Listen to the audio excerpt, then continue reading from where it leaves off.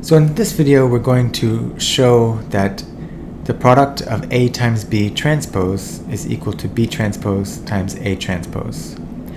Now we're going to do this in two steps.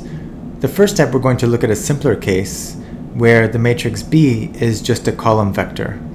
So think about A as a m by n matrix and V as an n by 1 column vector. Then we want to show that A times V transpose is equal to V transpose times A transpose. Okay, so the first step we want to show that A times V transpose is equal to V transpose times A transpose. So let's expand this left-hand side first. So A times V, if I write A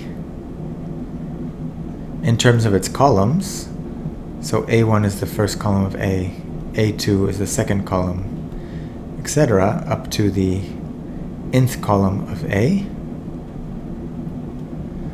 times the vector v, whose coordinates are v1 to vn, and then we're going to want to transpose this whole thing.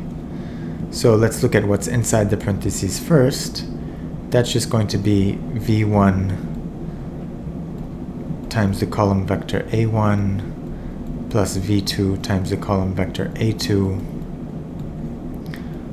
all the way up to vn times the column vector an. And now we take the transpose of this whole thing, which is equal to v1 now times the row vector a1 transpose plus etc plus vn times the row vector an transpose. So now these are row vectors. And I can write this again in matrix form. So this is just a row vector formed by the entries of V times the matrix whose first row is A1 transpose, second row is A2 transpose, etc. Here we have AN transpose. And this matrix here is exactly the matrix A transpose, and this is the transpose of the column vector V.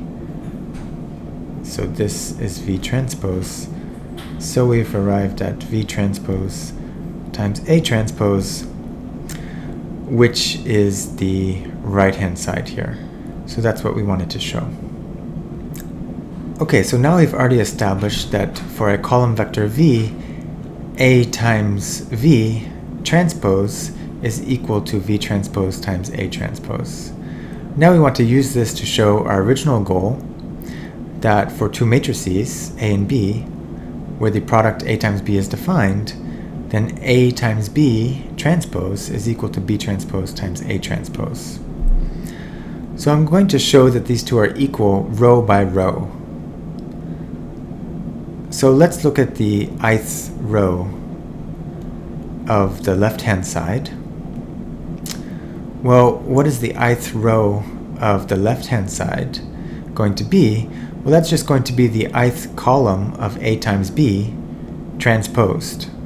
Okay, so the ith row of the left-hand side is the ith, so this is equal to the ith column of the product A times B, this thing transposed. And now what is the ith column of A times B?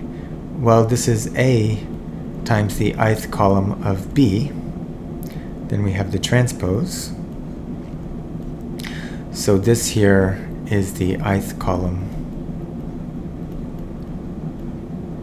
of B. So now this is just a column vector, so we can use what we've already established.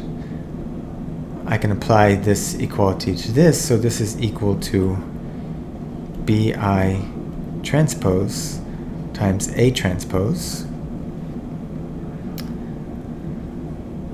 But this is exactly the ith row of the right-hand side. right? So what is the ith row here? Well, remember we said that the ith row of a product of two matrices is equal to the uh, ith row of B transpose times A transpose. But the ith row of B transpose is simply the ith column of B transpose. So therefore, these two things are the same.